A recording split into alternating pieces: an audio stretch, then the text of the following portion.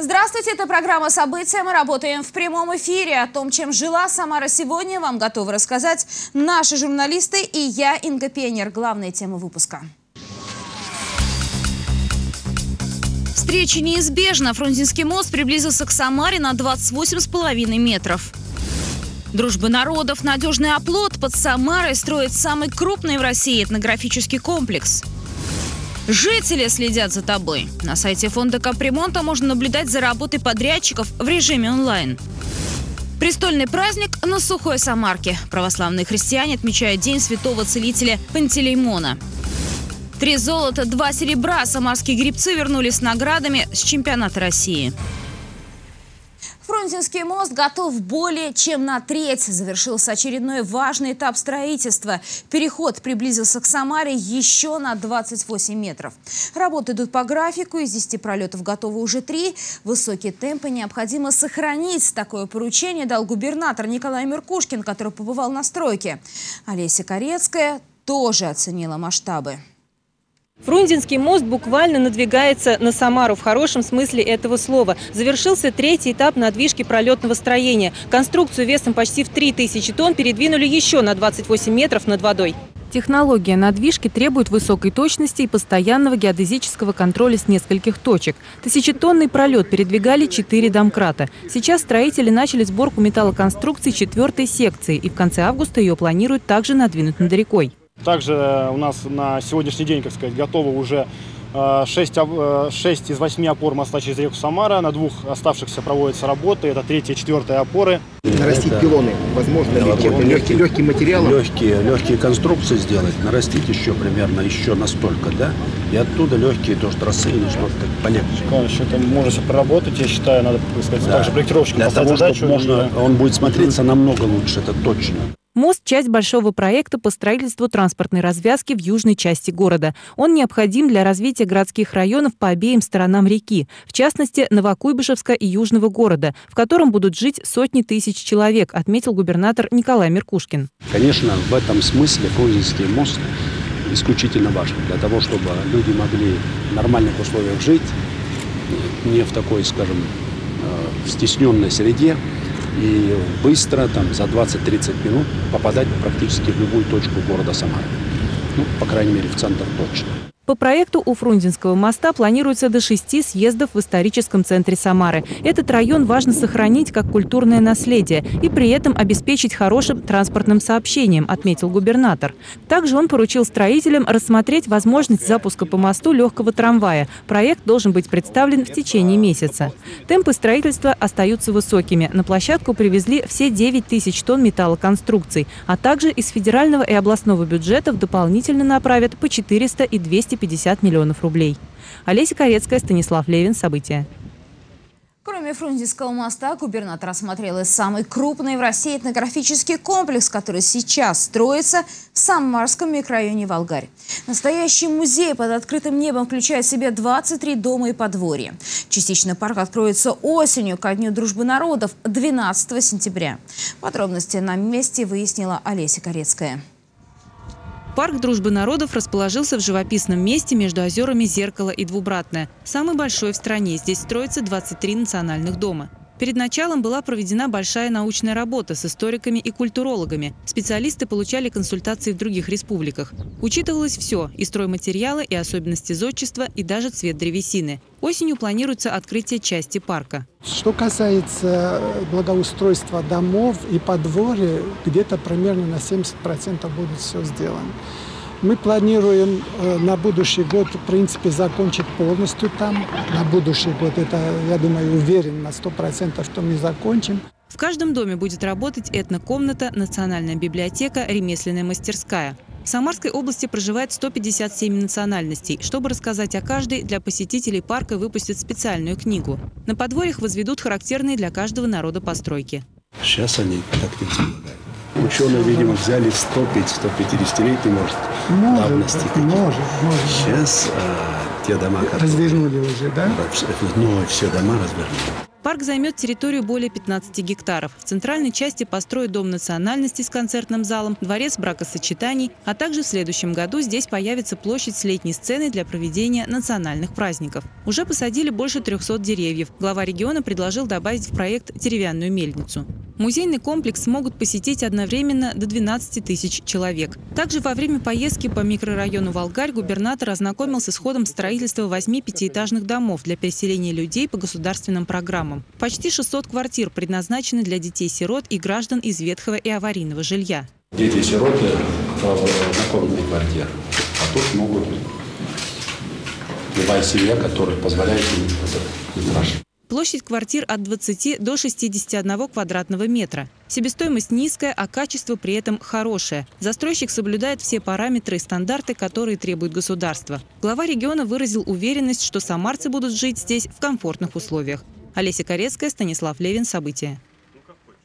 Как меняются самарские дома после капитального ремонта, теперь можно оценить, не выезжая на место. На сайте фонда «Капремонт» открыли галерею с полной информацией о домах, которые приводят в порядок чемпионату мира по футболу.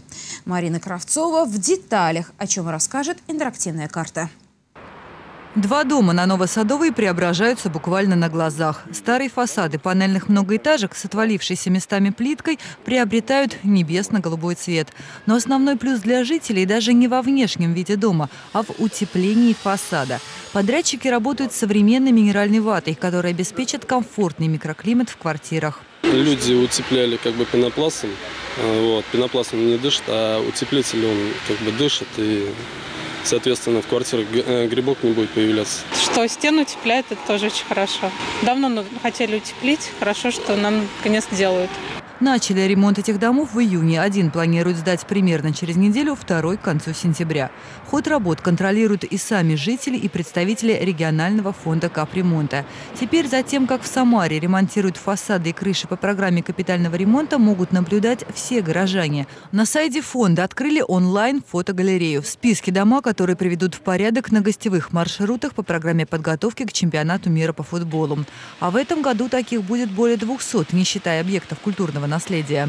А любой житель губернии и даже России может зайти на официальный сайт Фонда капитального ремонта и э, просмотреть ход выполнения работ э, на любом доме, где производятся работы. Отображены данные э, подрядной организации названия, срок выполнения работ, а также размещены фото на сайте есть изображение, как дом выглядел до ремонта, в процессе и после. Кроме того, подрядчики продолжают устанавливать и видеокамеры на стройплощадках, чтобы за ходом работ можно было следить в режиме реального времени. Видео с объектов тоже можно найти на сайте регионального оператора. Марина Кравцова, Константин Головин. События.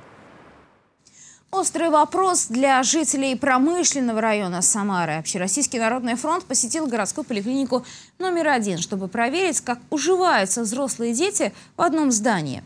Шесть лет назад при больнице было построено новое детское отделение, но спустя пять лет здание начало разрушаться. И теперь более 60 тысяч детей и взрослых ютятся в одном помещении. Есть ли шанс у дела сдвинуться с мертвой точки, выясняла Марианна Мирная. Здание детской поликлиники на Молодежной 4 только снаружи выглядит красиво и опрятно. Уже 9 месяцев оно закрыто для посетителей. В прошлом году, после завершения гарантийного срока, новое пятиэтажное отделение начало трещать по швам и разрушаться. Было принято решение закрыть поликлинику, а детское отделение перевести во взрослую. Для малышей отгородили одно крыло на первом этаже. Разделили регистратуры, но все же этого недостаточно. Приходишь за справкой для здорового ребенка, через день ты выписываешься, идешь опять за справкой, потому что ребенок заболел, уже нахватался вирус вирусов, ходя по всем кабинетам. Плюс, когда приходим мы анализ сдавать, то такое столпотворение, потому что сдают и взрослые, и детки. В промышленном районе 66 тысяч человек обслуживаются в поликлинике номер один. Все они теснятся не только из-за закрытого детского отделения. В больнице не хватает кадров. На сегодняшний день в участковой службе свободно 5 вакансий.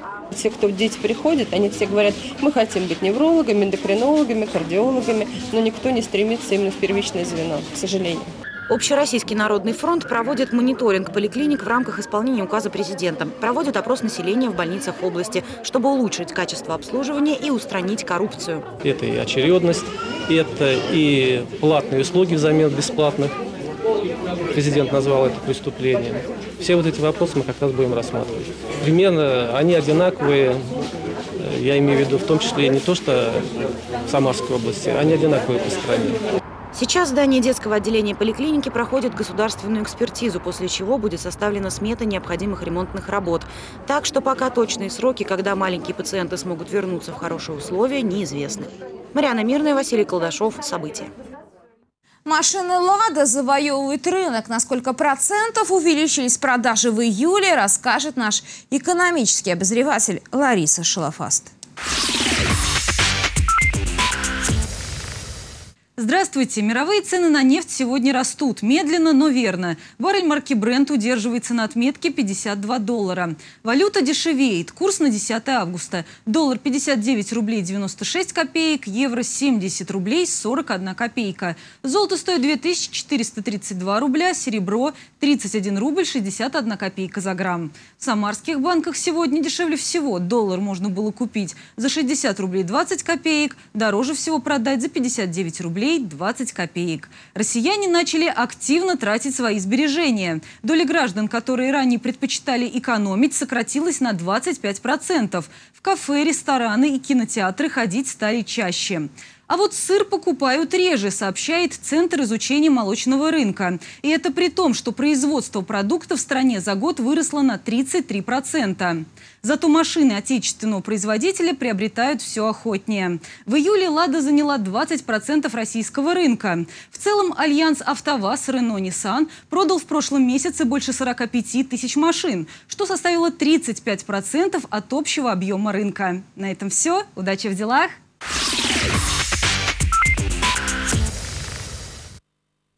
Романтики железной дороги. В Самаре проходит региональный этап всероссийского конкурса «Лучший по профессии» в номинации «Монтер пути». Какие конкурсные испытания предстоит пройти участникам, узнала наш корреспондент. На железнодорожных путях кипит работа. За звание лучшего соревнуются монтеры со всего региона. Судьи строго следят за временем, которое каждый тратит на замену элементов путей. Но особые требования к качеству, ведь именно от работы монтеров зависит безопасность движения поездов. Александр Виверман монтером пути трудится 9 лет, поэтому с конкурсным заданием справился быстро, но не без запинок. Тут очень большая ответственность. Надо соблюдать все нормы и допуски, содержание пути. Сложности не было, я давно уже на железной дороге работаю. Просто мелкие недочеты какие-то, может, судьи увидели. Кроме практической части, все участники сдают теорию. Конкуренция большая. В региональный этап вышли 26 человек. Такой ажиотаж еще пять лет назад было трудно представить, говорят организаторы конкурса. Профессия монтер путей востребована как никогда. За последние несколько лет ситуация с нехваткой кадров рабочих профессий в регионе изменилась. Ситуация меняется, и в части поступления в вузы и в колледжи набор увеличивается на технические специальности. Конкурсы как дополнительная мотивация, а, показ того, что может человек сделать, пойдя в эту профессию, а, насколько они разнообразны, насколько они интересны. За звание лучшего приехали побороться участники из Ульяновской, Пензенской областей, республик Татарстан и Мордовия. Победитель соревнований отправится на всероссийский этап, который пройдет осенью в Подмосковье. Лариса Шлафаст, Максим Гусев. События. Далее коротко о других событиях дня. Сегодня в 8 утра в автозаводском районе Тольятти произошло смертельное ДТП. На улице Северной около завода ДСК перевернулся автобус ПАС, который вез смену. По предварительным данным, автобус на полном ходу съехал в кювет и врезался в световую опору. Погиб водитель, ему предположительно стало плохо с сердцем. Остальные пассажиры, около 7 человек, получили ушибы и переломы. На месте аварии работают сотрудники ДПС и медики, обстоятельства аварии уточняются.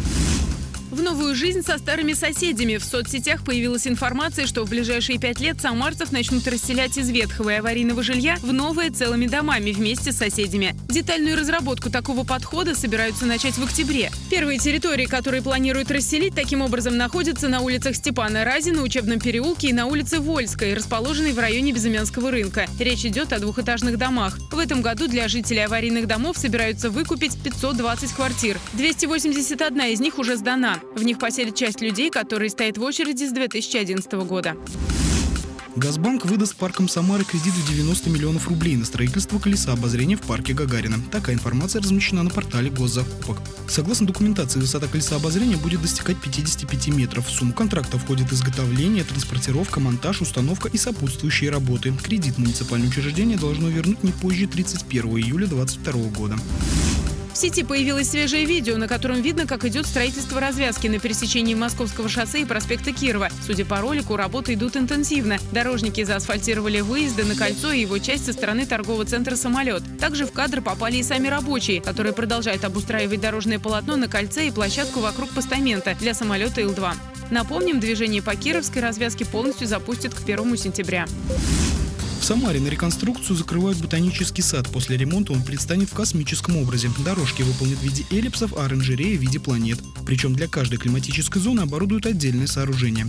Также в парке поменяют ограждение. Для первого этапа реконструкции потребуется 150 миллионов рублей. Его планируют закончить до чемпионата мира по футболу 2018 года. После Мундиаля на реконструкцию зеленой зоны потратят еще порядка 400-450 миллионов рублей.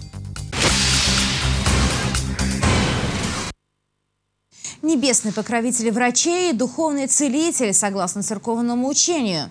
Сегодня православные христиане отмечают День Святого Пантелеймона. Это престольный праздник в храме в поселке Сухая Самарка. Сейчас он расположен в небольшом приспособленном помещении, но прихожане рассчитывают на скорое новоселье. Рядом строится большой собор в честь Святого Пантелеймона, который, как предполагается, станет одним из самых масштабных в Самаре. Олег Зверев тоже побывал на богослужении.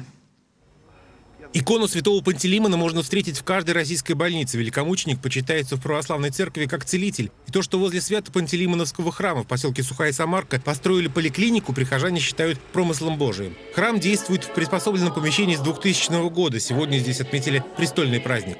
Святый великомученичий целителю Пантелеима, не моли Бога о нас. Даже в небольшом помещении в этот день на службу собрались сотни верующих со всего поселка Сухая Самарка. И это еще не выходной день по воскресеньям, особенно в большие праздники, здесь яблоку негде упасть. Причем число прихожан только прибывает. А потому было принято решение построить рядом со старым храмом большой собор в честь святого Пантелеймона. Большой храм для большего количества народа, потому что на праздниках вообще очень ну, теснится народ в этом храме маленьком. Для детей в этом большом храме будет э, большая воскресная школа, то, что можно туда детей отправлять, то, что с ними будет заниматься. Нравственное воспитание – это самое главное в наше время для детей. Согласно проекту, это будет один из самых масштабных храмовых комплексов Самары. Высота колокольни более 40 метров. То, что уже построено, это всего 16 метров. Строительство началось в 2008 году. Изначально планировалось сооружение храма завершить быстро, но в дело вмешался финансовый кризис, и работы немного замедлились. Но стройка продолжается, а это значит, что на Сухой Самарке появится большой духовно-просветительский центр. Здесь, конечно, планируется целый комплекс.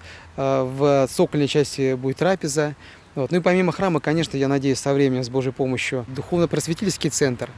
Здесь, конечно же, должны быть созданы все условия, чтобы э, человек мог э, не только прийти в храм помолиться, но и получить э, то, что мы называем просвещение. А когда собор будет построен, еще больше людей смогут приходить в духовную лечебницу, причем не только на богослужение, но и для участия в образовательных мероприятиях. Олег Зверев, Артем Сулайманов. События.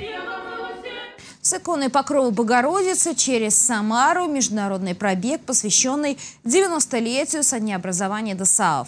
Россия едет через Поволжье. В эти выходные участники автопробега посетили Самарский регион. Сейчас они находятся в Саратовской области. На всех остановках они передают представителям региона знамя ДСАОВ. Поездки автомобилистов сопровождает икона Покрова Богородицы. Также в каждом регионе участники собирают частицы земли и везут их с собой. Колонна выехала из Владивостока 5 июля, уже пройдено две трети пути. Впереди Волгоград, где колонна разделится на две части. До конца августа участники автопробега должны прибыть в Севастополь. Три золотые медали и две серебряные. Самарские спортсмены вернулись с урожаем наград с чемпионата России по академической гребле. Он проходил в Москве, в нем участвовали почти 400 гребцов со всех страны. Сегодня их принимали в областном министерстве спорта. Чемпионы Максим Телицын, который завоевал две золотых медали, и Александр Визовкин, а также их тренер Дмитрий Стрельцов получили благодарственные письма. Спортсмены вошли в состав сборной России на чемпионат мира, который пройдет в США с 24 сентября по 2 октября. Положительный опыт участия в международных соревнованиях у них уже есть. Максим Телицын в мае этого года впервые привез в Самару золото чемпионата Европы. Тогда российская четверка опередила итальянцев всего на 14 сотых секунды. Александр Визовкин в июле стал серебряным призером первенства мира среди юниоров. После чемпионата России предстоит недельный отдых, после чего подготовка к мировому первенству. Эмоций, конечно, было много, потому что мы гонялись в двух классах. Вот, это по тяжелому весу и по нашему основному классу это легковес, именно в котором мы поедем на чемпионат мира. Вот. А у нас задача была максимум это выиграть оба класса. Мы это сделали вот, и сделали заявным преимуществом в обоих классах. Мы рассчитывали на эту победу, готовились, конечно же. А, ожидали, что остальные команды в прямом смысле нам дадут бой на воде. И в борьбе мы выиграли. Тем временем в Самарской области стало больше мастеров спорта и спортивных судей. В канун Всероссийского дня физкультурника их достижения официально признали в Минспорте. С героями нашего времени познакомился Сергей Кизоркин. Новости спорта продолжит эфир. Здравствуйте, я Сергей Кизоркин, и значит вы смотрите «Самарские новости спорта».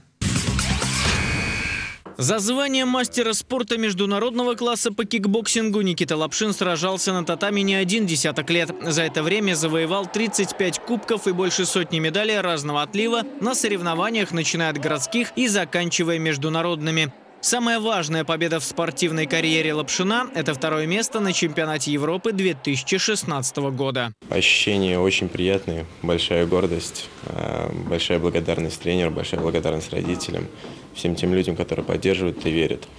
Э, вершина, ну, э, конечно, есть дальше стимул заниматься, буду дальше работать, чтобы получить заслуженный мастер спорта. Спортивная борьба. Вольная. Так ее называли до последнего времени. И здесь у самарских спортсменов есть свои звезды. Артем Ваченко, побеждая на всероссийских турнирах, заслужил звание мастера спорта. На это у него ушло 4 года. Все дело в том, что он выступает в тяжелой весовой категории. Там победа достается особенно тяжело. Сын Артем, он как бы тяжеловес. Это королевский вес считается, угу. престижный. Поэтому это очень тяжело бывает.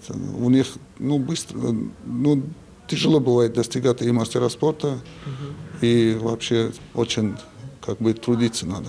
Качественное и непредвзятое судейство – основа любых соревнований, ведь именно от работы рефери зависит исход поединков. Самарские специалисты доказывают свою состоятельность ежегодно. Сегодня всероссийскую категорию получили 16 человек по 12 видам спорта. И это лучшие из лучших. Когда я проводил всероссийские соревнования «Школьный модельный спорт», у нас было объективное судейство, и самарская команда первая – заняла первое место, а вторая команда заняла, правда, третье место. В канун Всероссийского дня физкультурника знаки отличия от областного Минспорта получили лучшие представители большого спорта. Легион профессионалов пополнили 21 мастер спорта и один мастер спорта международного класса. Отличились гимнасты, легкоатлеты, пловцы, борцы, рыбаки, шашисты и жокеи. Это были новости спорта от Сергея Кизоркина. Занимайтесь физкультурой и будьте здоровы!